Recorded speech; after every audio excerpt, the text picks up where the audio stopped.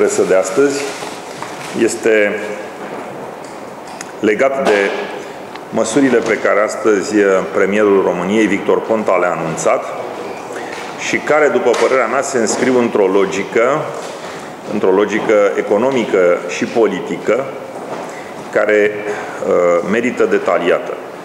În primul rând, aș vrea să readuc aminte o serie de măsuri care au fost anunțate de Uniunea Social-Liberală și care deja au fost implementate. Și aici mă refer la obligația de a reîntregi valoarea salariilor pentru bugetar la nivelul la care a fost înainte de 1 august 2010 și, în al doilea rând, restituirea banilor care au fost reținuți în mod ilegal pensionarilor pentru contribuțiile de uh, asigurări. Toate măsurile care au fost anunțate astăzi de premierul uh, Victor Ponta se înscriu în logica de care guvernul a vorbit în ultima vreme, se înscriu în logica unui discurs economic care pleacă de la necesitatea stopării crizei, stopării efectelor crizei și a relansării economice. Ehm, ca liberal vorbesc acum, ehm, am convingerea, am convingerea că politica economică care a fost dusă în ultimii trei ani, începând din 2009, condusă și patronată de președintele Băsescu. Subliniez, condusă și patronată, pentru că guvernul Boc nu a fost decât un penibil executant al măsurilor pe care le-a decis președintele, Revin, spun că aceste măsuri care au fost luate de austeritate nu au făcut decât să agraveze criza, să adâncească criza cu efecte economice și sociale extrem de defavorabile. Astăzi, după trei ani și jumătate de criză economică, numărul șomerilor a scăzut considerabil, ponderea și povara cheltuielilor pe buget cu indemnizațiile de șomaj a crescut enorm, uh, au scăzut contribuțiile la fondul de pensii și de aceea fondul de pensii a devenit deficitar și, în sfârșit, toate aceste cheltuieli, sigur că grevează asupra bugetului, care nu mai are suflu necesar să aloce bani pentru investiții în economie, care ar fi putut Mă refer la capitolul de investiții publice guvernamentale care ar fi avut darul să contribuie la stoparea crizei și la relansarea economică. Uh, lecția pe care ar fi trebuit să o tragă Băsescu și compania, din păcate, uh, nu uh, a dus la niciun rezultat. Pentru că, în pofida faptului că primul pachet de măsuri de austeritate nu a dus la niciun efect, au ascultat în continuare sfaturile Fondului Monetar și au adoptat al doilea pachet de măsuri de austeritate care, am mai spus-o și în alte dăți, a produs același efect asupra economiei, cum ar produce, uh, eu știu, încetinirea pedalatului la un biciclist care merge pe o bicicletă și care și mai pune frână. În momentul în care s-a oprit să pedaleze și uh, pune și frână, ne dăm seama că bicicleta o să se oprească. Același lucru s-a întâmplat și cu economia românească, care a fost obligată să adopte un al doilea pachet de măsuri de austeritate. Și ceea ce a urmat, am văzut. România este în momentul de față, cred că, țara europeană cel mai grav afectată de criză. Nu vorbesc de țările care au datorii publice nesustenabile, precum Grecia, Spania, uh, Portugalia și poate Italia. România este o țară care are o datorie publică, sau mai bine spus, avea o datorie publică extrem de redusă la finele lui 2008, sub 18% din produsul intern brut.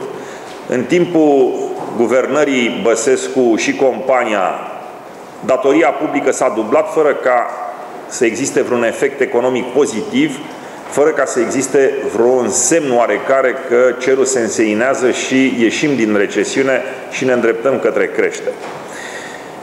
Spun aceste lucruri de ce? Pentru că iată că există soluții, există un alt tip de gândire economică și care, sigur că ă, prin măsurile care au fost astăzi anunțate, pot să oprească declinul economic și să pregătească revenirea pe creștere economică. Ceea ce doresc să subliniez este că aceste măsuri au fost astăzi numai anunțate, nu sunt formalizate la nivelul unor decizii ale guvernului. De ce?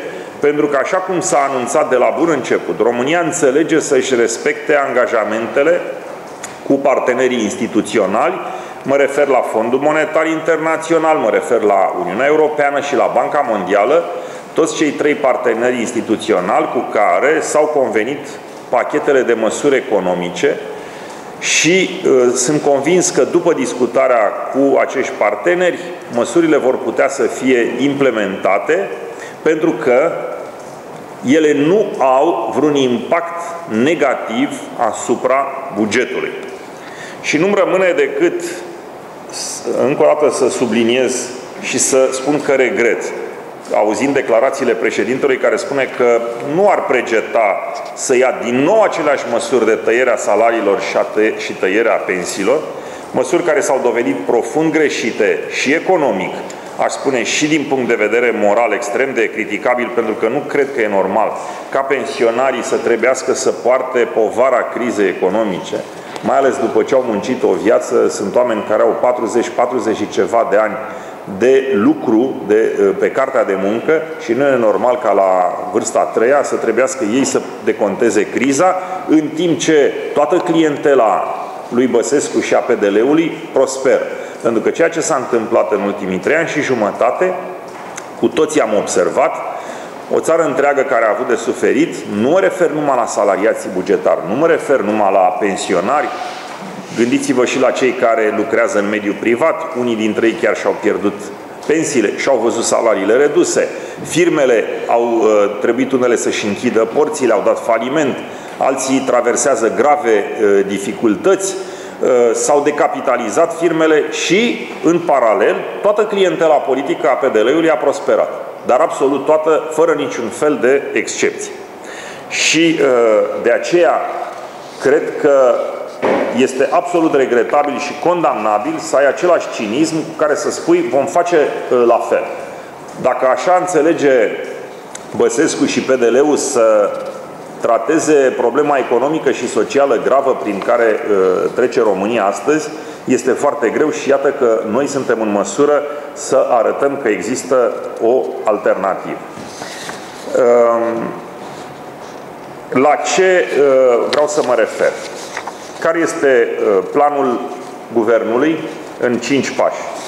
Prima măsură care mi se pare extraordinară din punct de vedere economic și care va ajuta foarte multe firme din sectorul întreprinderilor mici și mijlocii este plata TVA-ului la încasarea facturilor pentru firmele care au o cifră de afaceri de până la 500.000 de euro anual și demn de subliniat cu condiția ca aceste Uh, tranzacții să fie făcute și derularea cifrei de afaceri prin bancă. Deci eliminarea evaziunii fiscale, scoaterea la suprafața economiei gri sau negre, care evident va avea o contribuție și un impact pozitiv mult mai larg.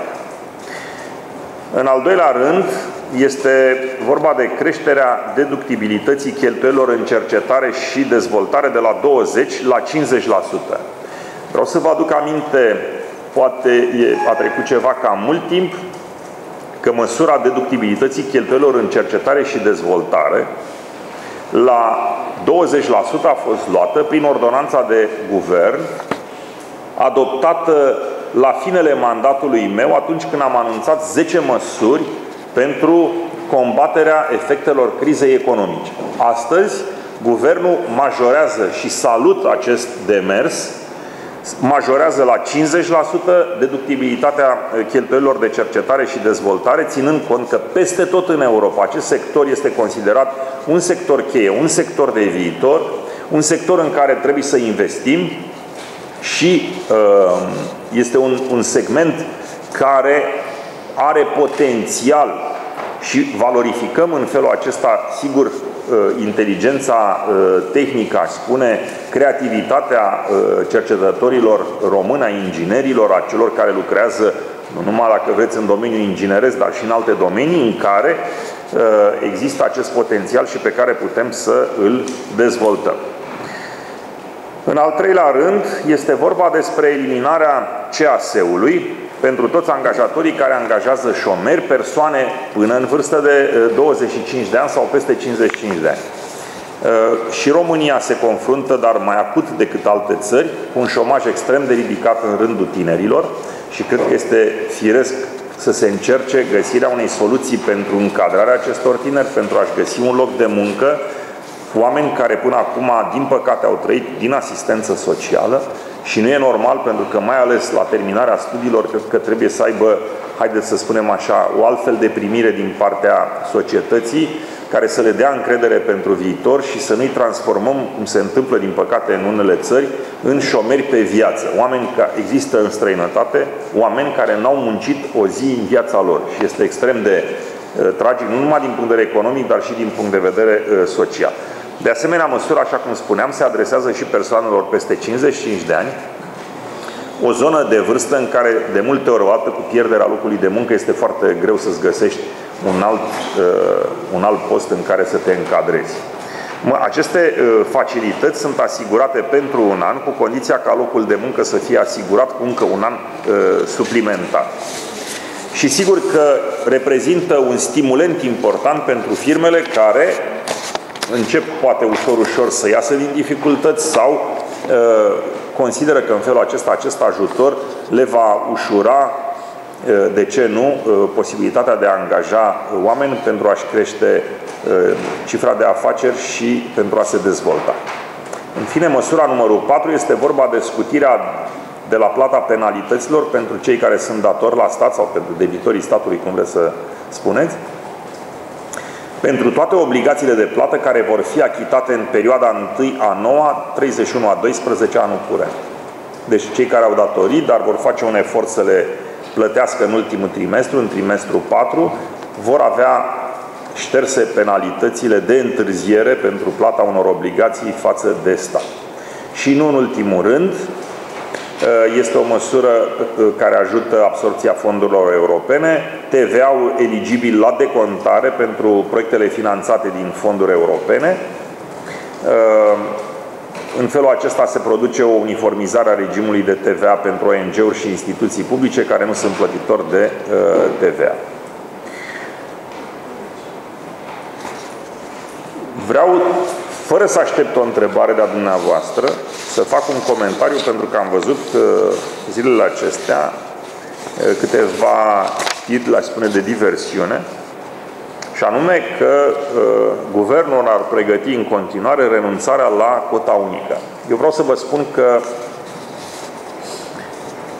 atâta vreme cât uh, Partidul Național Liberal face parte din coaliția de guvernare și este membru al uh, echipei de guvernare, această cotă unică nu se va modifica.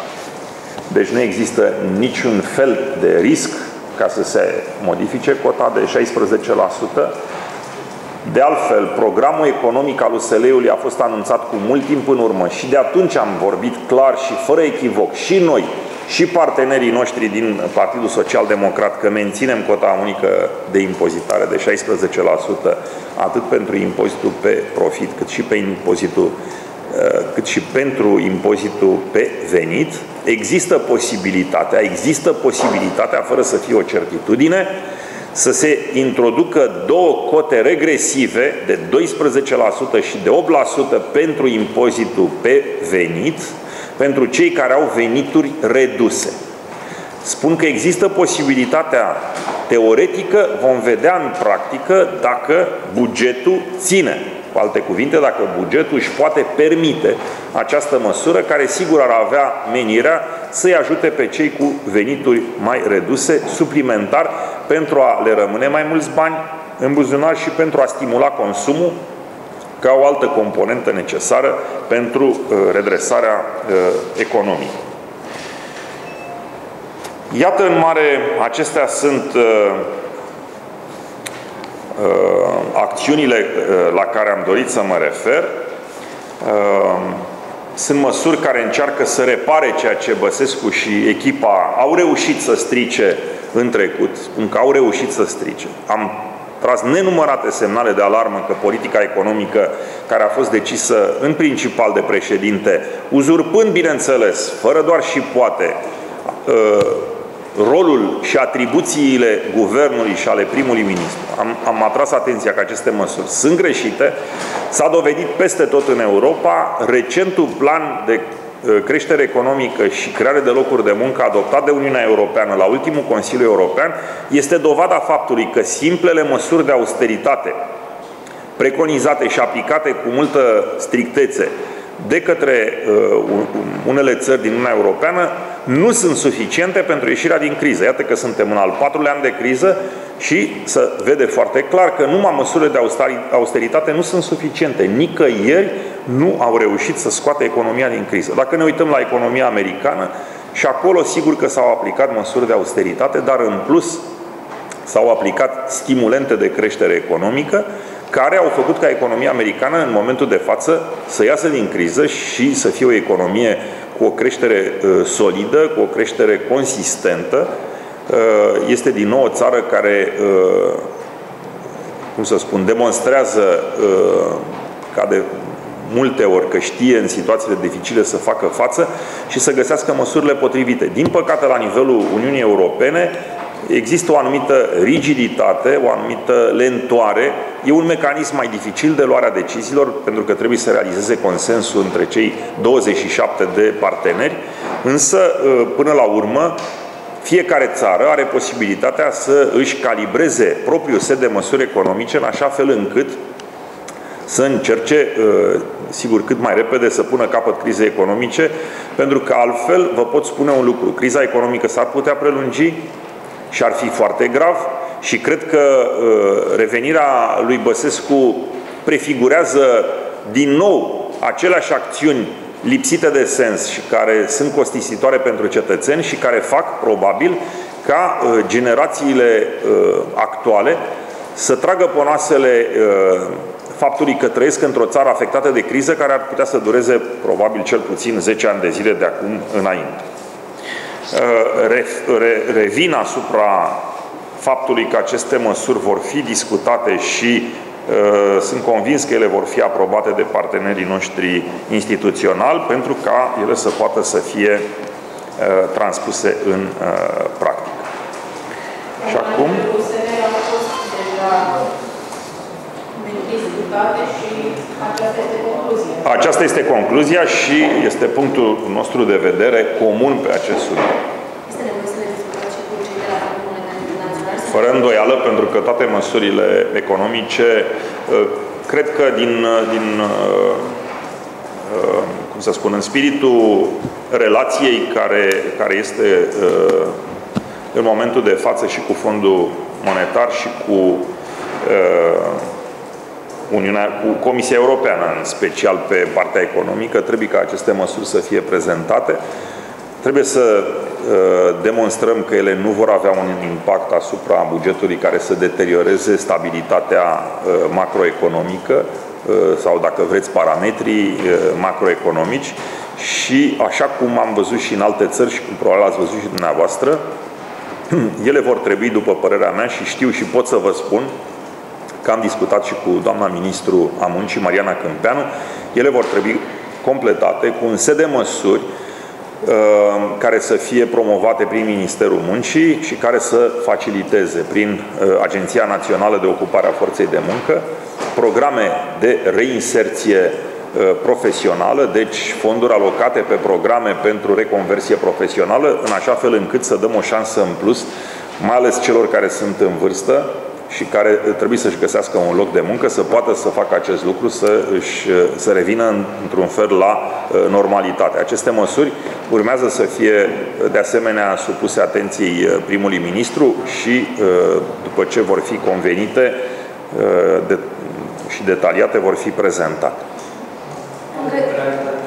Vreau să vă întreb, spre un exemplu în orizont, în termen în care aceste măsuri vor fi aplicate, dar prin faptul că delegația femeii în prezent și-a amânat da, uh, este evident că uh, probabil vor veni în cursul lunii august, sper să, fi, să se întâmple acest lucru și imediat ce vor fi uh, convenite aceste măsuri, discutate cu ei, prezentate, vor deveni aplicabile. Nu prin toamnă, cred că, mă rog, Sigur că uh, ne apropiem, mai avem încă o lună și jumătate până la venirea toamnei, dar eu cred că până la 1 septembrie vor trebui să fie adoptate.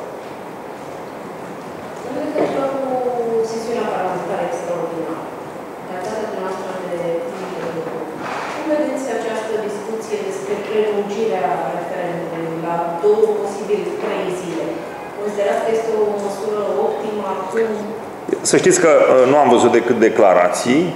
Uh, eu vă pot spune că personal uh, a oferi cetățenilor mai mult timp, ținând cont că e vacanță, că poate au alte programe, așa cum se întâmplă de foarte multe ori în ziua de vot, fiecare găsește să mai aibă și altă treabă și dacă se oferă un timp suplimentar de vot, nu văd absolut nimic, niciun fel de uh, element care să împieteze asupra procesului electoral. Din contră, Ideea este de a oferi cetățenilor într-un număr cât mai mare posibilitatea de a veni să-și exprime opțiunea, indiferent care este. Și la câte zile eu nu optez pentru uh, nimic, pentru că urmează să facem o discuție. Nu știu dacă se va merge până la urmă pe două zile de vot. Eu cred că ar fi fost util și două zile de vot. Se poate face și o zi de vot extinsă, cu un program extins. Această perioadă trebuie pusă în acord cu legea aceea a referendumului sau se poate face apoi cu de guvern? A, e, o întrebare, e o întrebare bună, dar uh, vă spun că nu mai știu exact cum este formulat uh, uh, ordonanța. În orice caz, noi trebuie să, uh, sigur, de aceea facem sesiunea extraordinară ca să uh, batem în cuie toate aceste elemente. Da, nu cred că e o chestiune tehnică, mi se pare... Da. Vom ști exact. revine la decizie la nivelul USR ce veți face și dă demisia întregul cabinet, om ar trebui să plece toți din potrivă, ar trebui să rămână, să continue lupta. Cam care e punctul de vedere al PNL? Uh, punctul meu de vedere este că, având în vedere uh, procentul, aș spune, covârșitor de opțiuni uh, ale cetățenilor pentru demiterea președintelui, Ceea ce trebuie făcut este să dăm posibilitatea cât mai multor români să vină să-și exprime opțiunea și să încheiem această perioadă de criză politică. Cred că revenirea lui Băsescu la Cotroceni nu va face decât să prelungească criza, să arate că Băsescu nu este capabil să coabiteze cu nimeni, să le demonstreze a nu știu câta oară românilor că Băsescu nu este un personaj politic apt pentru a fi președintele României. Și, prin urmare, cred că ar fi, eh, din punct de vedere politic, din punct de vedere social, din punct de vedere economic, o variantă foarte proastă să luăm în calcul revenirea lui Băsescu la Cotroceni.